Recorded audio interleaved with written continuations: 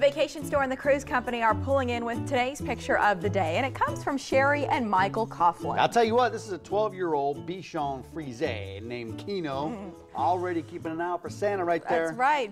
A bone in the stocking, we hope. Well, we want to see your pictures. You can email them to blend@kmtv.com. Look for your favorite snapshots on air and featured online in Journal Broadcast Group's I Contribute galleries. I work with some dirty birds. I know what you're laughing at. And listen, the vacation store and the cruise company picture of the day tile is on our website. You can click on it to see all of your photos.